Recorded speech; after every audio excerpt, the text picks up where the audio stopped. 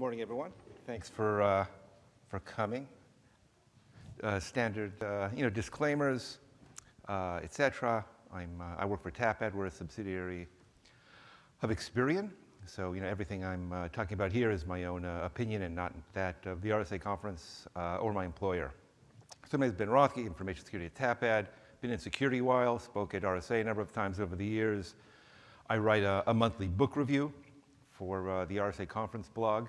I just had my most recent one yesterday, Jennifer Minella's book on wireless security architecture.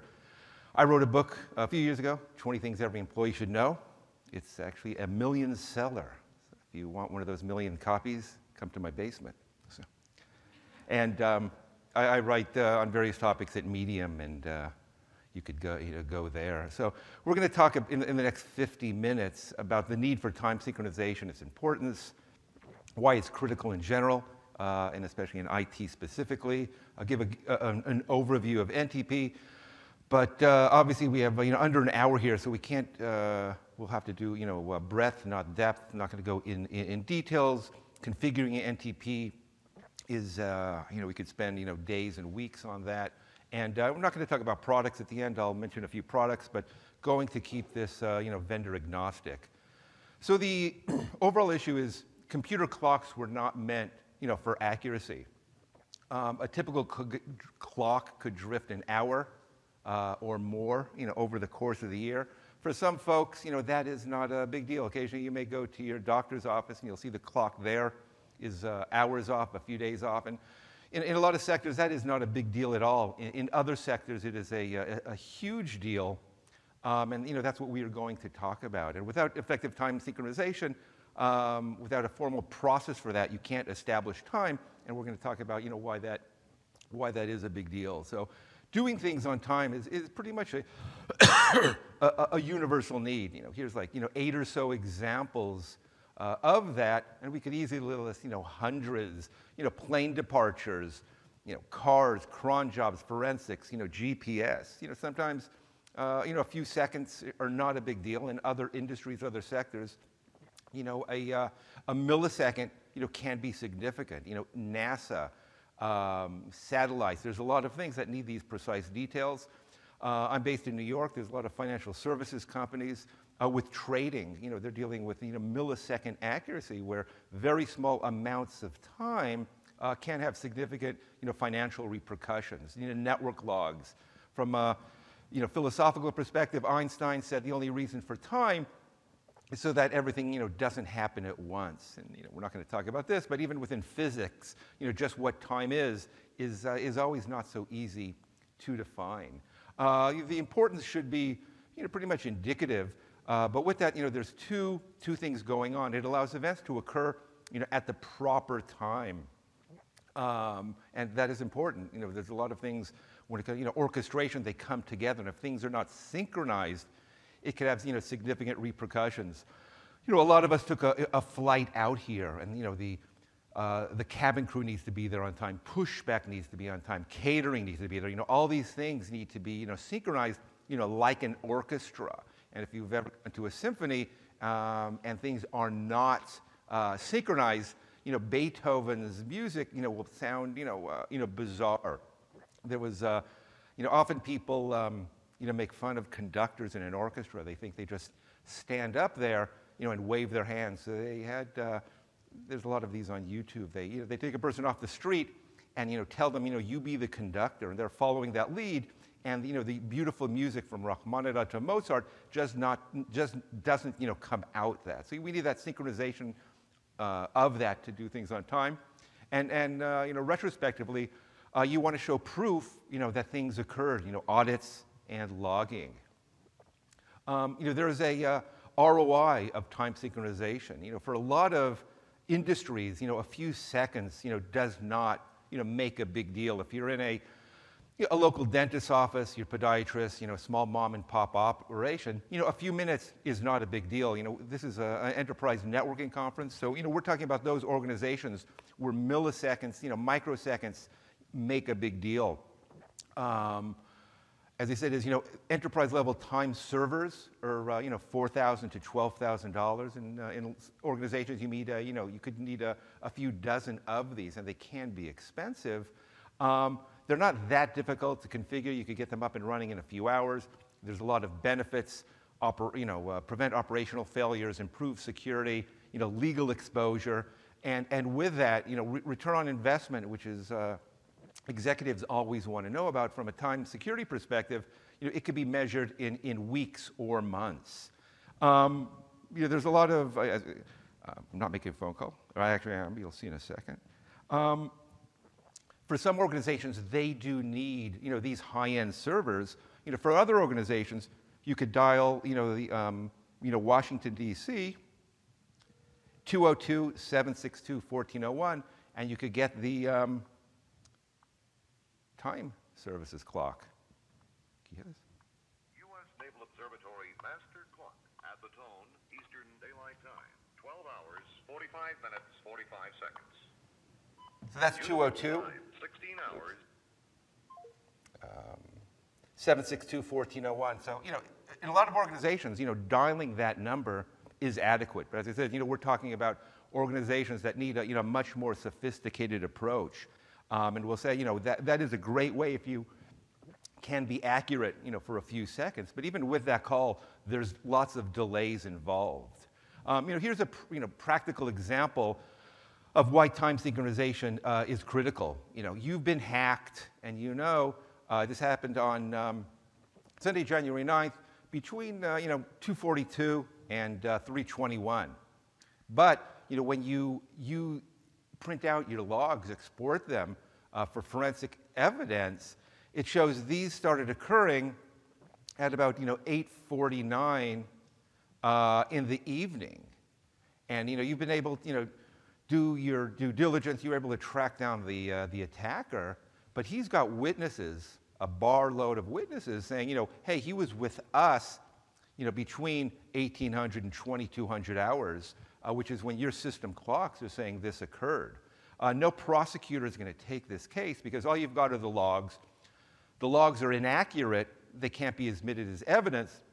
And as uh, attorney Ron Coleman said, a snafu such as seriously unsynchronized logs would be, recorded, be regarded by a defense lawyer as a providential gift. Though this is something, a very simple example of how you know, you've got real evidence and you've got a smoking gun, but uh, you know, you're not going to be able to admit that in court if you don't ha- if you're not able to admit that in court. And often in digital cases, all you've got are your logs. Then you have uh, you know you have no recourse there. So this is just a, a basic example of why time synchronization it can be uh, significant. Uh, regulatory standards, a lot of them you know require that. 21 CFR Part 11, PCI, GLBA, you know, HIPAA, et cetera, all of these are based on uh, effective time synchronization. There's, uh, you know, eight or so here. I could easily list, you know, 20 to 30. So, you know, this is pretty much axiomatic uh, into the overall IT infrastructure. This is from uh, the latest version of uh, a PCI version 4. Um, a little hard to read, uh, section, you know, 10.4, but they go into, you know, detail quite prescriptive on, you know, what you need to do uh, for time synchronization in a PCI environment. You could download this document, PCI DSS, from the, from the website. This is an open document. Um, and they go into you know, quite detail, both the you know, prescriptive details of you know, what do you need to do you know, for that from uh, if you're in the payment card space. Even if you're not storing, processing, or transmitting you know, cardholder data, this is a good you know, high-level description uh, of what it takes to do time synchronization right. Um, this is a you know, sort of a, you know, a weird example, but incorrect timing adds to conspiracy theories. You know, one of the saddest days in American history. This is the Pentagon bombing. Uh, you know, we all know it occurred on September 11th, but, but here, you know, the clocks there said this was September 12th at 5:37 uh, in the evening.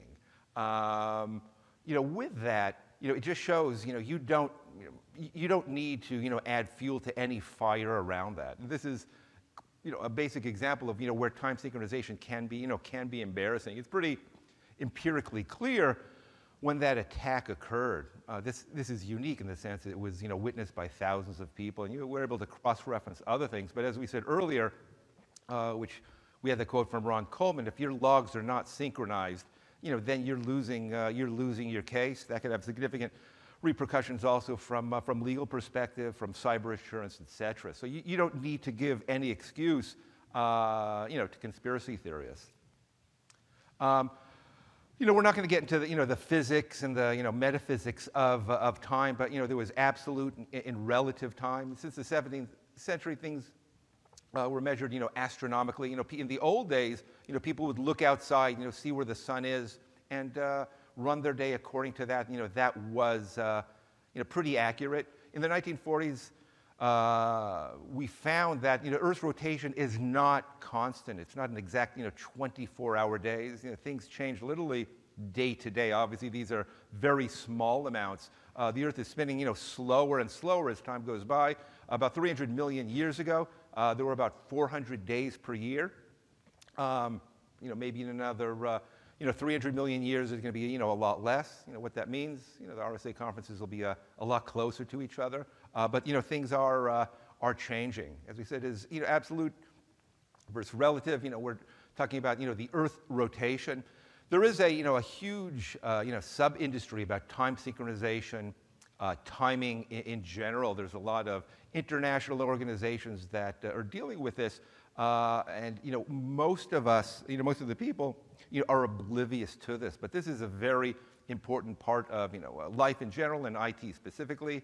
Um, in 1967, the um, General Conference on Weights and Measures defined the International System of Time. Uh, what that is, is uh, 9.1 billion cycles of microwave into the cesium-133 atom. And that, um, the cesium-133 atom is extraordinarily stable, and that's why they are able to um, uh, have accuracies of, uh, you know, uh, you, know, um, you know, a millisecond over, you know, you know billions of years. Um, in the early you know, 1940s, we, talked, uh, uh, we saw atomic clocks were developed you know, based on the uh, cesium-133.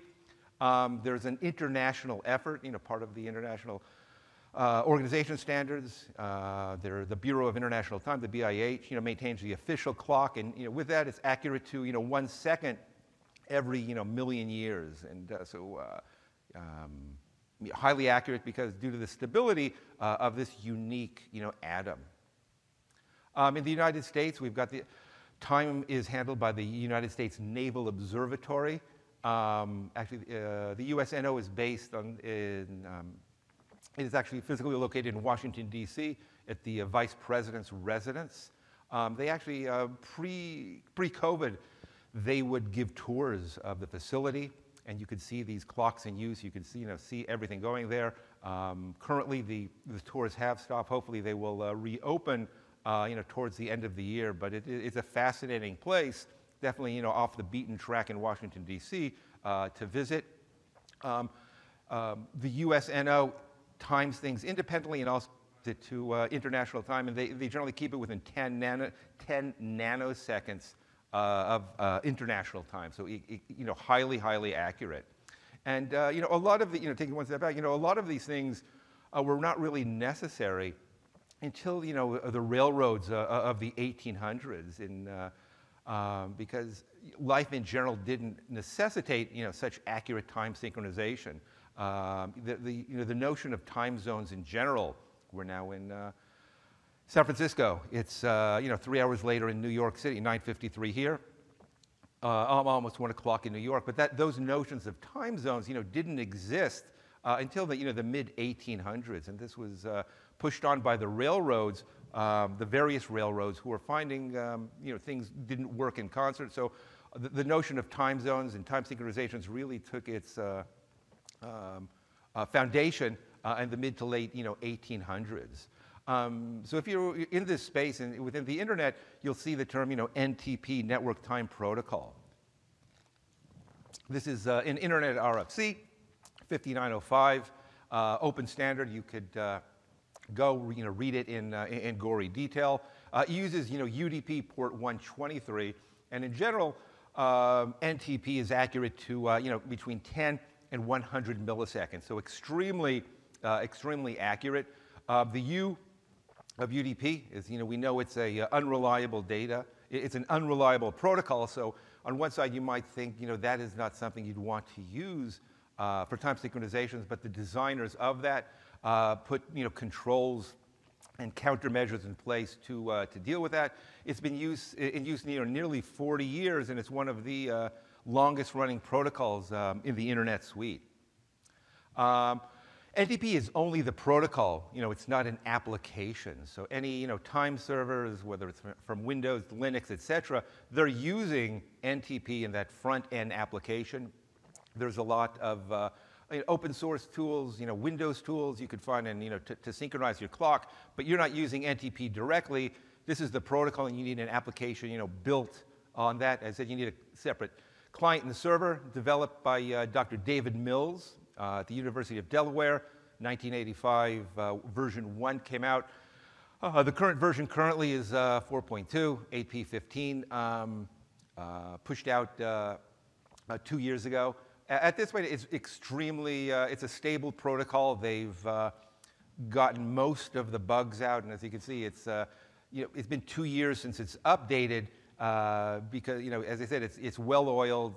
there's a lot of eyes who have um, who have looked at it, and you know, most of those bugs have been, uh, have been taken out. You know, is it uh, bug proof? You know, absolutely not. We saw from you know, Log4Shell, you could have things out there for a number of years, uh, but you know, it can be vulnerable. But uh, as a whole, it's a pretty stable, secure protocol, and uh, you can go to ntp.org uh, and download you know, various you know, documentation and other things around, around that. Um, as I said, as you know, the protocol is using you know, various time sources. You could use public servers, uh, private servers. There's a lot of ways you, know, you can't configure it. We'll, we'll talk in a second about uh, stratum, uh, various stratum levels. You know, uh, the stratum zero are the government agencies that are setting the time, coordinating the time, and synchronizing on that time. And then you're using devices from uh, stratum one, you know, two, and three. Uh, you could use public servers, or you could use you know, a lo local master clock set by your, by your administrator. They could set that, uh, as I said, to the U.S. Naval Observatory clock. And in some organizations, you know, that is more than fine. We're focusing on those organizations that need uh, a lot more than that.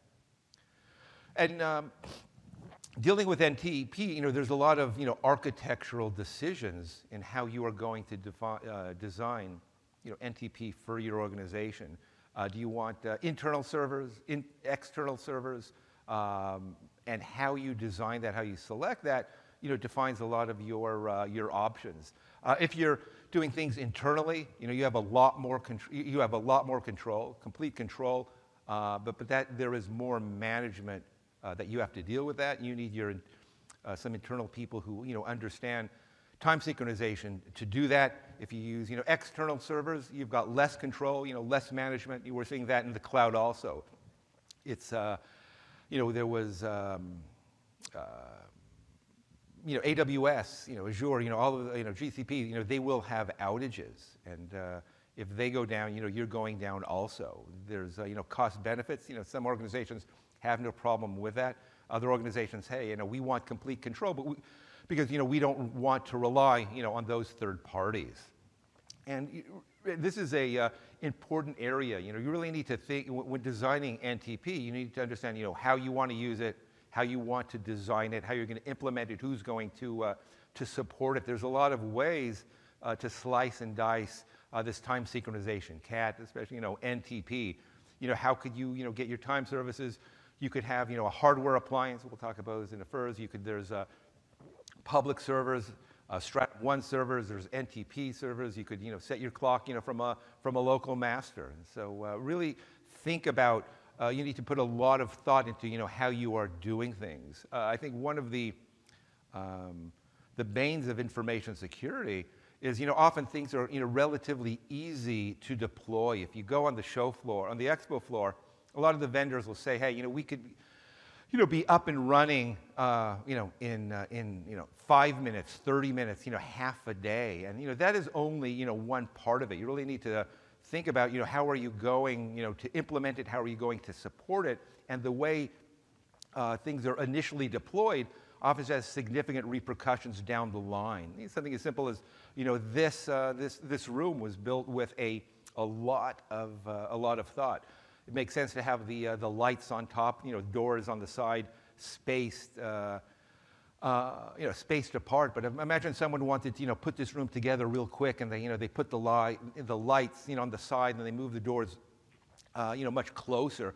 Making those changes later on, those architectural changes, will take a lot of time and a lot of effort. And uh, you know, sometimes the changes can't be made. So it's important, IT uh, in general and security and time synchronization specifically, you know, take the time to think about how you're going to architecture this, uh, because those uh, uh, decisions you make early on have significant um, uh, repercussions later on in use.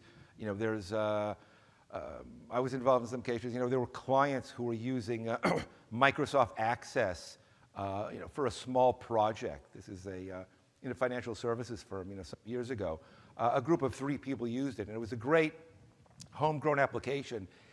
And uh, it started growing and growing and growing, and different departments were using it. And you know, after about 18 months, uh, there were all of these groups, you know, using a uh, you know undocumented version uh, of, a, uh, of Microsoft Access.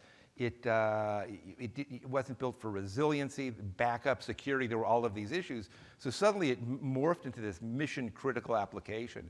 So it is this trajectory and, uh, you know, it's sort of like in space, if a, a satellite is launched, you know, with a tra trajectory off a you know, tiny, you know, tiny amount, you know, after a few million miles, that can be significant. So uh, in your NTP design, take it slow and think a lot uh, about that. True for NTP uh, and true for uh, technology uh, overall.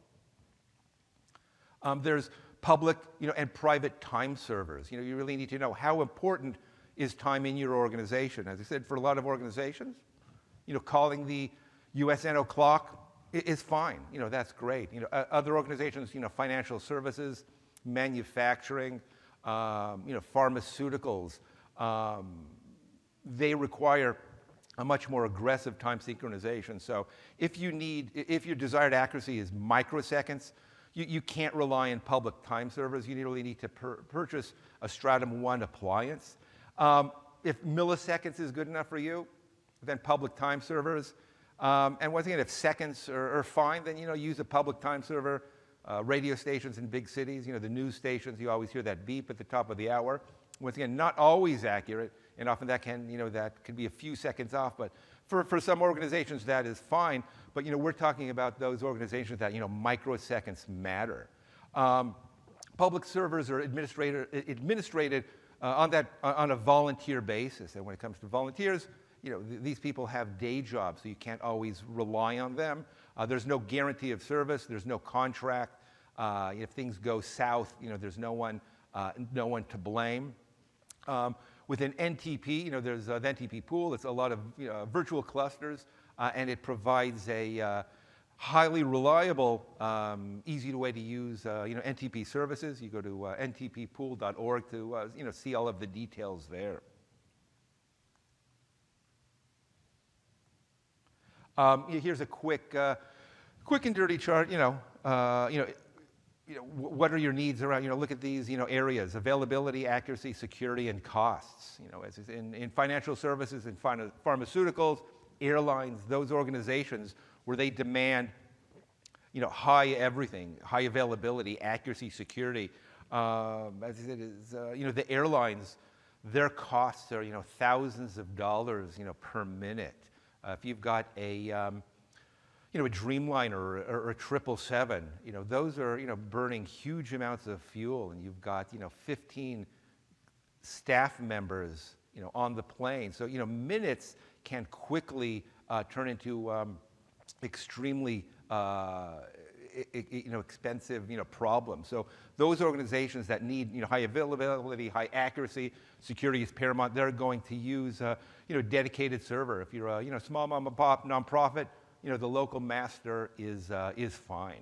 But really, you know, define your needs and define what you want, and that is going to, uh, to help you decide you know, what the appropriate path to take, to take is.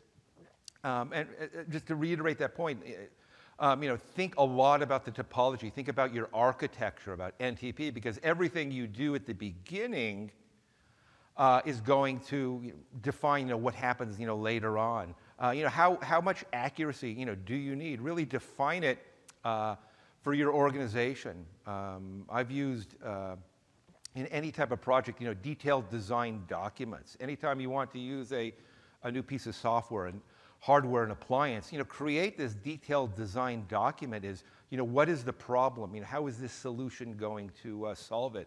You know, what are the costs? And if you take a document like that and show it to management, uh, they are going to be, you know, much more likely to sign off on, uh, on approval for that. Uh, when it comes to NTP, you know, really determine, you know, what do you need for that? You know, how, you know, what is your, uh, what is your accuracy? You know, how many clients are there?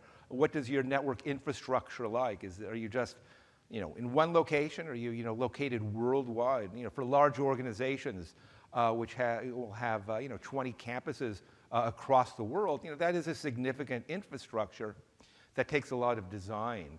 Um, you got to think about uh, physical topology and geography. You know, how are sites connected? Um, within, uh, within time synchronization, a lot of the, uh, the science behind it is talking about network delays. And uh, uh round, trip delays, round trip delays can impact NTP and negatively affect you know, the accuracy. Is, you know, sending a packet between Los Angeles and, and London, um, you can watch real-time videos. And, you know, there is buffering and other things, but there are those delays uh, that you don't know about that you have to start thinking about, you know, that can uh, impact things. So really spend a lot of time thinking about, you know, the physical topology, the geography of your infrastructure, where are the sites located, where are your time servers, uh, et cetera. Um, within NTP, there's, there's a lot there. For some uh, organizations, um, you know, they're just using the basic uh, set of NTP tools, um, you know, using that, and you know, they don't need, you know, that, that's fine for them. But, but with that, you know, there's a, there's a large feature set within NTP, within all of the, uh, any software or hardware you're going to be using with that. There's uh, security, you know, uh, authenticating things. You know, so if you've got authentication, you need to deal with uh, um, certificates. You need access control. You know, so there's a lot of that there. Uh, you start, you know, thinking about uh, redundancy. Uh, in, uh, in airplanes, you know, they've got triple redundancy. Uh, suppose, uh, especially in navigation, you know, imagine you have, you know, two navigation systems, they, they don't synchronize, so which one do you believe? Uh, they'll have a third one, and they'll, um, they'll use that to determine, you know, which, uh, which is the appropriate navigation course to, to take. So you need to build in redundancy, you know, in a lot of different levels, between peers, between clients, et cetera. And once again, this is getting back to that idea is, you know, how, uh, how significant is time synchronization in your organization? And based on that, you're going to build, you know, appropriate layers of redundancy. As he says, you know, financial services firms, logistics, you know, FedEx, uh, UPS, you know, they have uh, well-oiled systems for uh, time synchronization in place because um, it means a lot to them. I think, uh, what is it, UPS's motto is uh, the world on time or you know something like that because uh, um, you know time time is money to them. And when you've got you know millions and millions of deliveries daily you know half a second uh, to you and me you know might not seem a lot. But when you factor in you know all of those details there it, it's significant uh, cost uh, to these logistics organizations. So when using NTP you know there's a lot of a lot of things to think about uh, and so you need to put that into place, you know, before you start pushing things out. Um, you know, thinking about, you know, how do you want to, you know, manage it? Um, there's networking tools out there, open source, SNMP, you know, the, the, your, your vendor uh, who's using uh, time synchronization should have tools out there.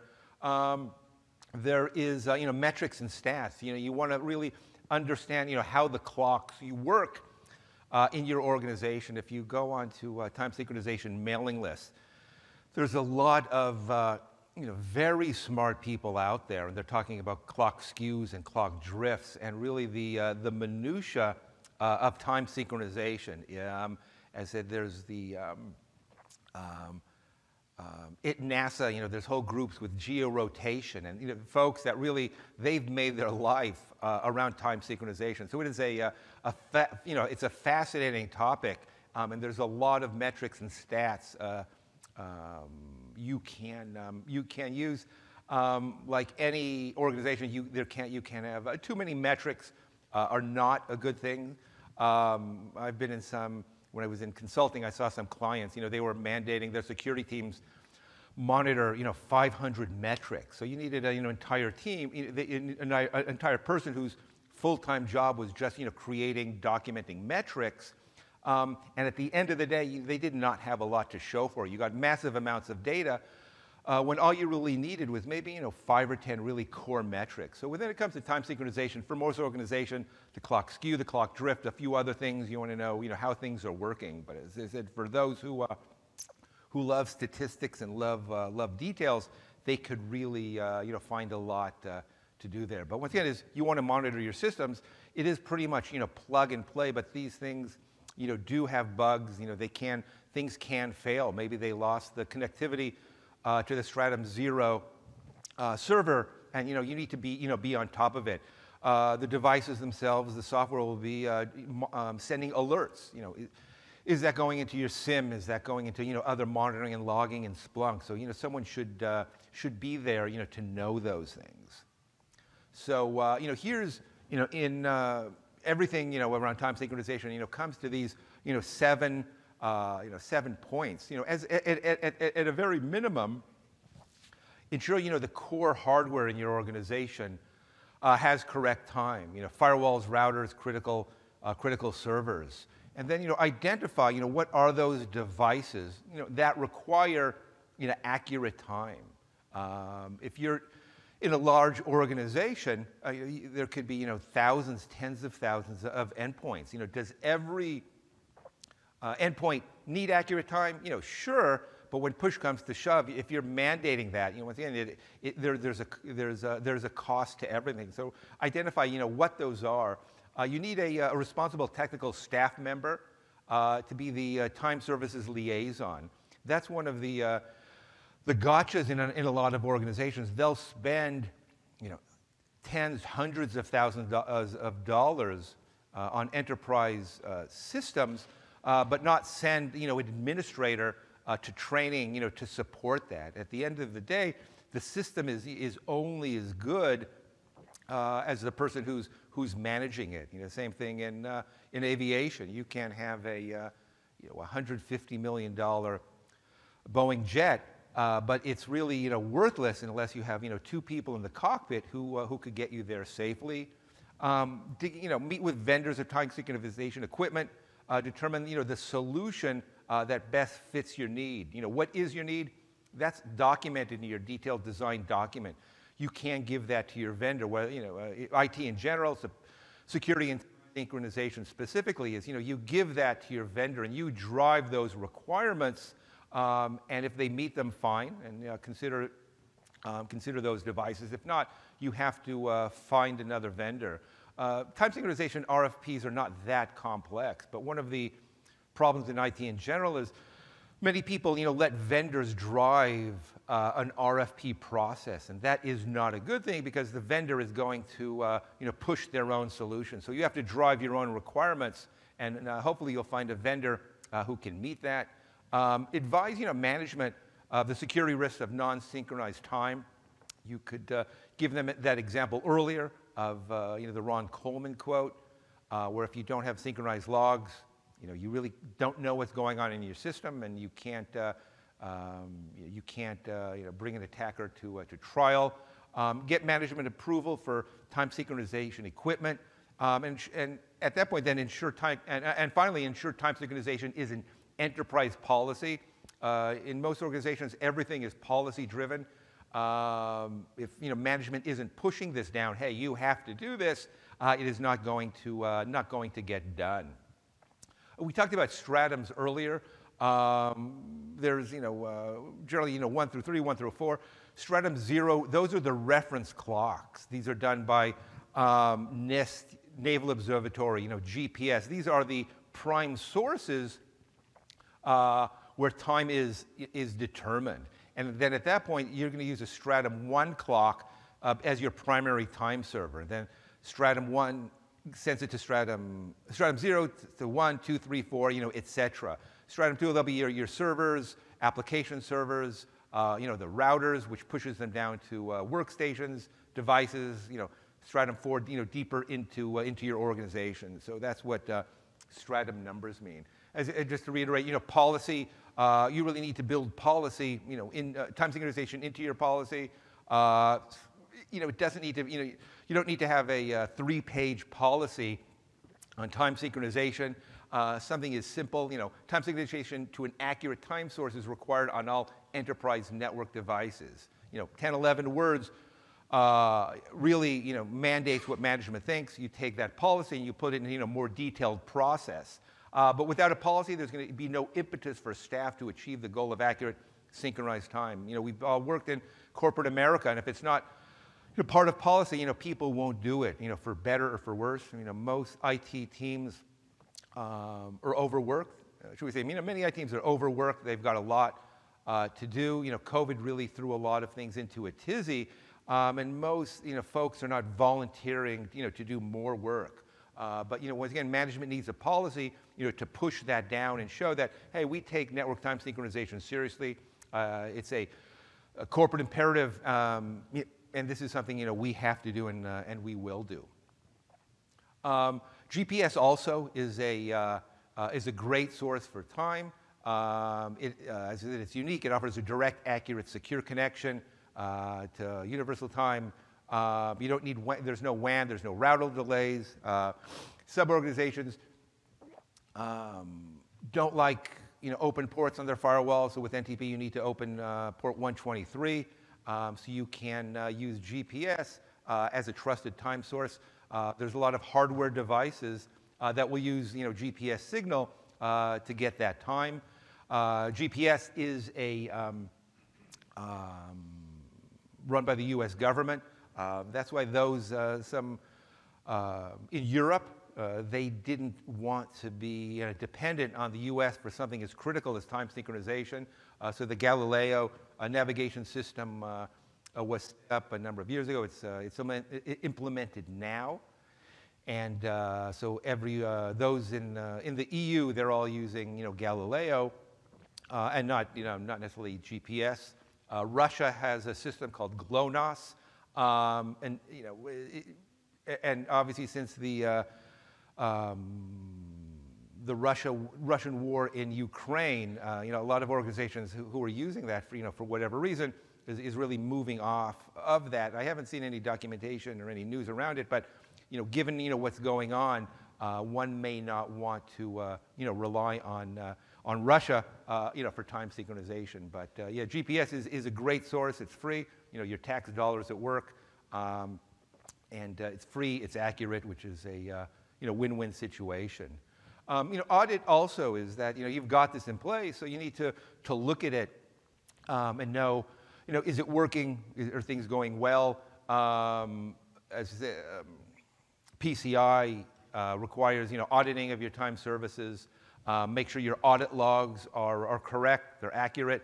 Um, you know, if you're, uh, as I said, as if, if your logs are incorrect, you know, all a lot of the benefits, you know, that time synchronization provides, uh, you know, will be going away. So, you know, build in audit uh, into your time synchronization program to make sure, uh, you know, those logs can be used. Follow, the, you know, the, your, your, administrators need to know uh, what are the rules of evidence because um, in a court, you know, the defense attorney, you know, what they will always do is they will try to find holes in your infrastructure. While, while time was not correct, even if the time was correct, you know, maybe the audit logs were tampered, and there's a lot of, uh, a lot of things they will look at to get those logs not admissible in court. If they're not admissible, then, you know, then, you know, you really have no case there. So, um, you know, look, there's a, you know, a lot of books out there, a lot of information of, uh, of doing forensics right and making sure your audit logs are correctly managed, stored, and secured so, you know, so they can be used and admissible in a court of law uh, if need be. Um, time synchronization in the cloud uh, is, a, uh, is a great, you know, great service. Um, the cloud vendors themselves uh, do a, a, uh, fantastic job of, uh, securing, of syncing their you know, you know, millions of devices out there. Um, they will perform the, uh, the time synchronization themselves, but they're looking, uh, requiring you uh, to do the logging uh, and the monitoring. Every cloud vendor has a, uh, what they call a cloud responsibility matrix. And that's where they define everything they will be doing, uh, and everything, you know, you will be doing. And for a lot of cloud customers, you know, they may um, um, assume, you know, cloud vendors are doing certain things and they're not doing that. So, uh, you know, look, uh, what, um, th- these are public documents, Azure, micro, um, GCP, um, you know, AWS, you know, look at their uh, responsibilities matrix to understand, you know, what will they be doing and what is your responsibility when it comes to time synchronization. You know, they do it all. You don't have to worry about that, uh, but you have to do the logging and monitoring. Um, you could do that from all EC2 instances. Uh, here's, um, you know, two of uh, many links from AWS. Uh, GCP has time synchronization. I didn't have space, but Microsoft Azure has uh, you know time synchronization. So uh, you Google you know Azure Time Sync or any of these, and you could find all of the uh, the documentation, um, you know how to do that correctly. You know there's hardware out there to do that. These are um, you know high-end products. You know here's it is a relatively you know small space. There's not um, you know like downstairs on the expo floor. You know API security there's about uh, 11 vendors. Uh, uh, you know, just at the expo in general, there's probably you know 30 vendors. You know, when it comes to uh, time synchronization, it's, uh, you know, there's maybe these are the three major vendors. There's maybe you know half a dozen or so. Uh, Orolia, EndRun, Microsemi, they're all doing roughly the same thing. Um, if, if this is of interest to you, these companies have you know highly highly sophisticated, you know, highly ac accurate devices. If you're a you know, large corporate environment, you know, you may need you know, half a dozen of these. You, know, you may need a few dozen uh, to support your infrastructure. They are expensive, uh, but as I said earlier, you know, the, the ROI on time, on time synchronization can often be measured in, uh, in weeks or months, especially if you're in a organization, financial services, production, logistic, et cetera, um, where these small amounts of time uh, have significant repercussions. Uh, they're all, um, uh, at, at, high level, all these products you know, have the same you know, core functionality. Uh, so you really need to know, you know, you know some vendors you know, have uh, better support for uh, you know, certain things you may need. Once again, go back to your design detailed document and see what your needs are and see you know, if the vendors you know, meet that. There's there's you know, a lot of international organizations involved with this. It is a, a, a niche topic, but it is extraordinarily uh, important overall. Um, I said National Physical Labs in the UK, the Royal Observatory. There's, there's a lot uh, of international organizations you know, working hard uh, to make sure things are uh, in sync. Uh, and the Bureau, uh, the International Bureau of you know, Measurements, based in Paris, they're doing time, they're doing weights, etc. two you know, great books out there. Uh, Expert Time uh, Ec- Protocol by Peter Ryback.